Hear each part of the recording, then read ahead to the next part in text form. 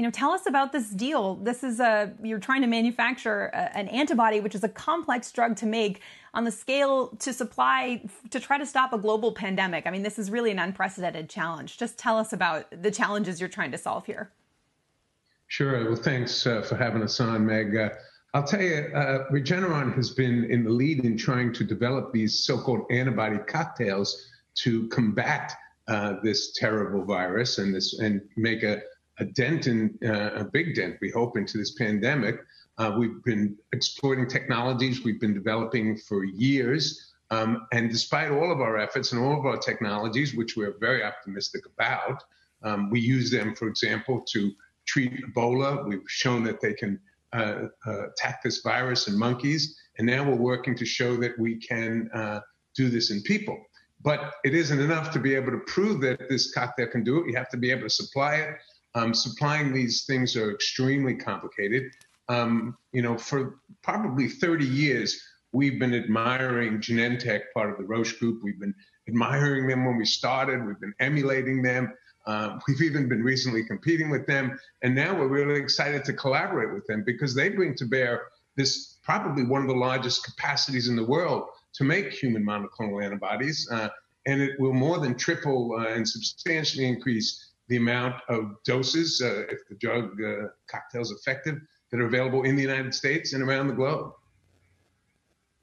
So give us a sense of, of how much of this drug actually will be available and when. You know, we know you struck a, a contract deal with Operation Warp Speed in the United States for almost half a billion dollars. And you said at the time you could supply for treatment because the dose is higher up to 300,000 doses or for prevention up to 1.3 million doses.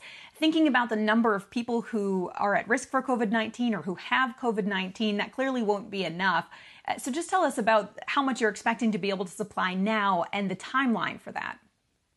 Sure. Well, so um, we're working very hard to transfer our technology, which is kind of a big deal. Um, but this is what you do in pandemic times. Uh, we're transferring our technology to one of our competitors. Uh, that technology transfer is already underway. Um, I think that there's such a sophisticated manufacturer of biologics that it will take months rather than years it might take others to uh, be able to operationalize uh, our technology.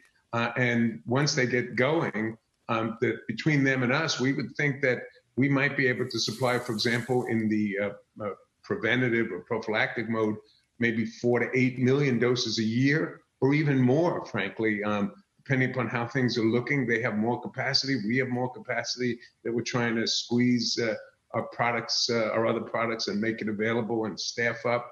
Uh, so millions of doses per year, maybe up to as many as 8 million in the preventative mode or more. And of course, you're both working on this at risk before the drugs have even proven to work in clinical trials. Tell us about your level of confidence that these drugs will work and really make a dent uh, in stopping this pandemic.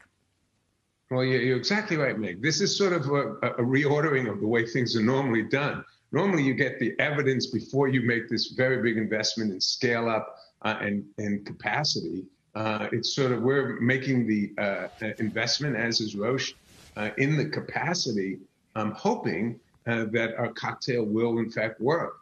now, why do we think it'll work? Well, um, as we said, um, it's worked in the setting of Ebola, where it was a life-saving drug, um, a cocktail.